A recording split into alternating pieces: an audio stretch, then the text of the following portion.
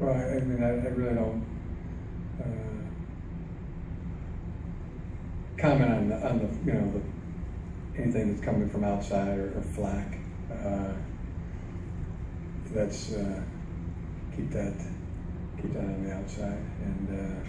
you know, it's, it's up to us, it's up to us, the, the, the men in the room, we, uh,